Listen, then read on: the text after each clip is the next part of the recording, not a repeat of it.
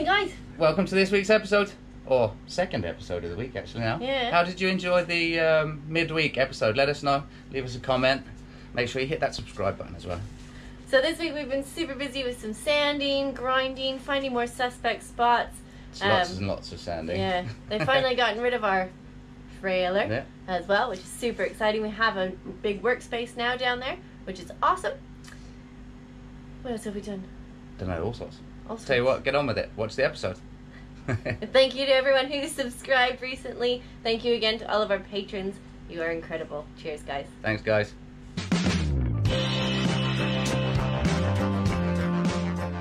Hi, I'm Erica, and this is my fiance Davy.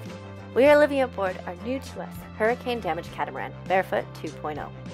We met in Fiji three years ago and have experienced so many beautiful places together. For the past two years, we've made the ocean our home, starting on our Catalina 36 in the States and the Northern Caribbean.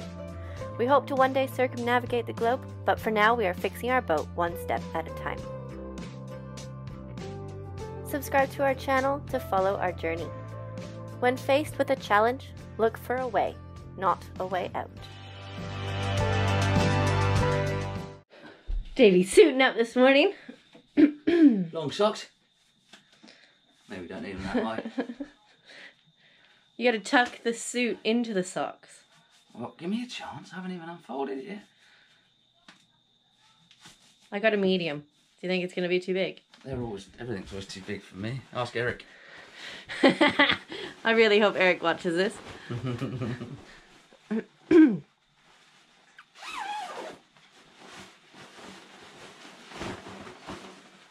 It might not be. It might be alright.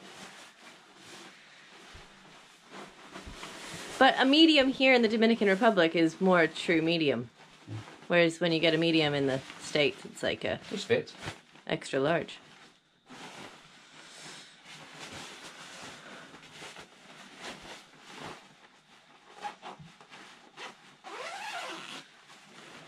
Look at you go. Wait, can I just make one adjustment? So you want the ears out? Why do you want the ears out? Just because I think it'll look funny.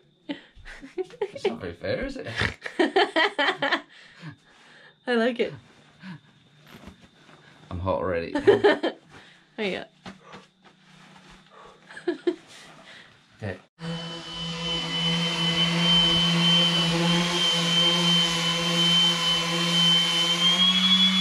How's it going?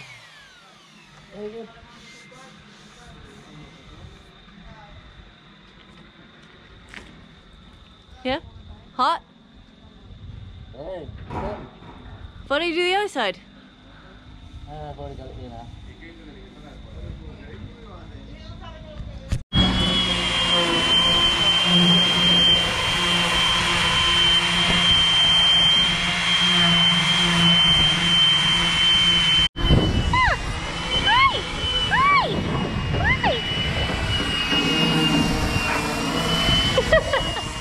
Hey, morning guys. So a little bit of an update what's going on here this morning in the yard. Uh, so what I'm decided to do is I want to rub down all the sides of the area. We're going to basically re repaint the whole boat.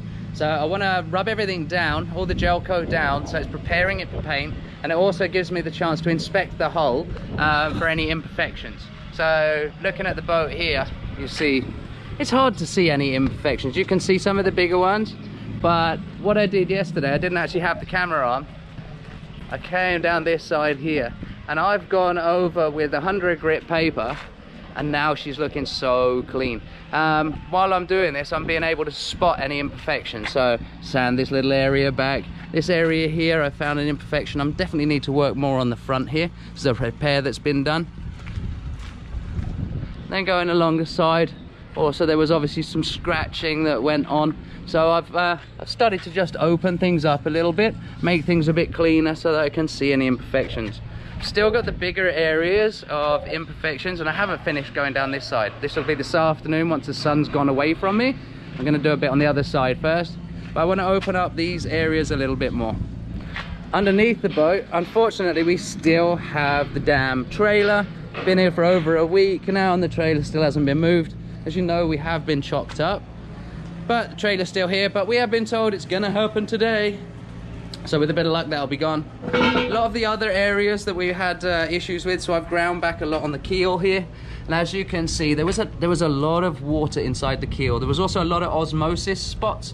You can spot where the water's dripping out. So I've been grinding back, and as I'm grinding, you can see small amounts of water. So I'm actually cutting them further back and allowing things to dry. Also on this uh, damage that we'd exposed here a few days ago, you can definitely see that there's still water inside this crack. It was never repaired properly, it was just a hot patch. Previous owner did tell us that everything below the waterline had been done correctly and professionally, but as we can see by all of these damages with water coming out of them, that is completely not true. So that's kind of the truth behind a hurricane damage boat. Still got the damage there, I can see water coming out definitely things are drying out. There's a lot less dripping that we've got now. Davy's been working on cleaning up the underside as well. He's done some work on the sail drive. We are going to need to get sail drive boots for it as the original ones are no longer there. They're going to move the tractor, or the trailer. The trailer is moving. It has a week and a half, is it? It's been in it? Yeah. Where's that puppy dog? So in order to get the trailer out from underneath the boat, they're going to need to use the tractor and pull the trailer slightly to the left, as when they did put it on the boat, it wasn't quite center, so they're not able to drive it out, otherwise it'll take out one of the keels. So they're going to pull it over with the tractor, and uh, hopefully it'll come right out. Don't want it to get stuck under the tractor. Don't get stuck.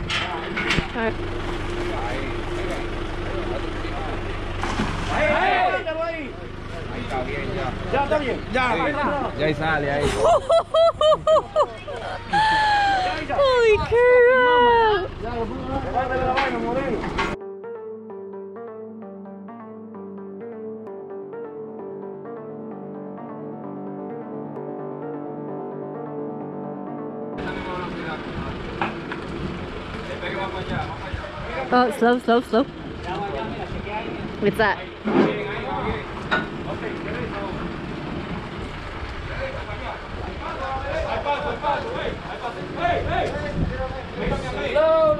Whoa, whoa, whoa! My heart is beating so fast right now.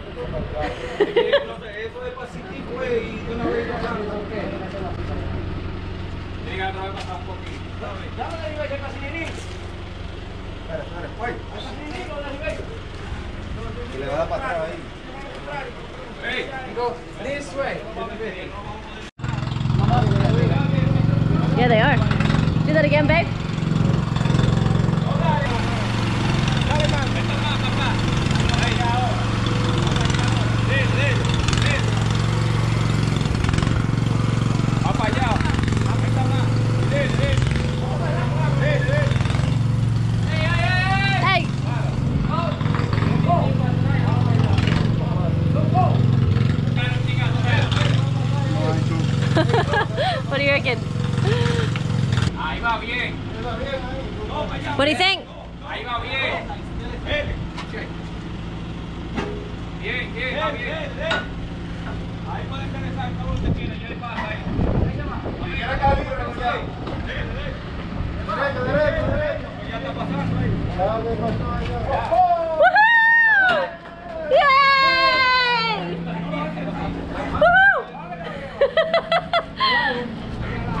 Good job! Yay! It's out. It's finally out. The trailer is gone. We have a working space. that was the most stressful 20 minutes of my life. It takes what 15 people to work out. You need to go that way a little bit, but. Uh, But no, they did it. They did it very did it well. slowly, and they did very well. Yeah. So I'm very happy with Yeah. that. So it's out. It's a good job. It's out. It's good. done. Yeah. Good. It's gonna be tight putting it back in again, Um, yeah. but that's not for a while. We gotta fix it first. yeah, but then that's when it'll be more stressful because it'll be like, They'll be like, fixed, "Do not do scratch not." Alright, cool. There's a big 72 foot catamaran that's come in. Uh, it's owned by a company who works directly with Carnival Corporation. And due to COVID, they're not running right now, so they want to fix a few of their boats. They've taken the mast off and they're going to try and haul it out with these two cranes. It's 72 feet. Our little tiny 36 foot catamaran looks so tiny on the hard next to it. We are super happy with the placement, so thank you, Isaac. We, as you can see, we are really close to the water, so we don't get too many bugs on board and we get a nice breeze all afternoon.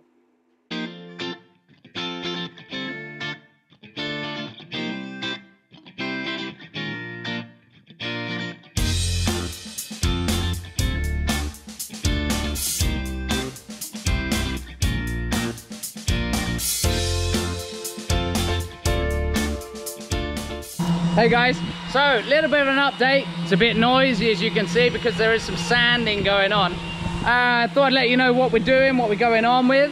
So this morning I've actually been working, if you remember back, I was making some fiberglass panels for a friend of mine. Um, so Bill, your panels are made. I'm gonna trim the edges tomorrow. Uh, so that's that was my morning's work. And we've also got the boys here and they moved on to the other hull. It's pretty damn noisy because of the sanders, but that's the way it is. So they've stripped down most of this side here today. Also got some water coming on board so we can have showers tonight.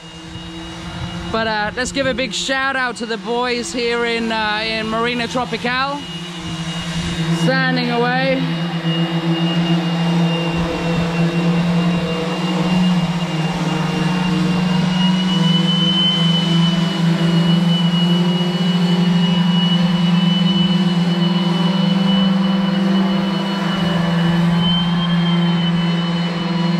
Starting to look really good. The holes are starting to dry out. Where I've been working on the hulls, uh, especially on the keels, there was a lot of blistering. Uh, there's actually still some water marks here, here, here. Um, but I was grinding those areas back, but they're gonna take a couple of weeks to dry out. But anyway, things are progressing. I've been doing a lot of work and I'm very, very grateful for the help of the boys here in the yard that have been getting rid of the black anti-foul paint for me. So they've done a great job. They're still working at it. We're hoping it's going to be finished today.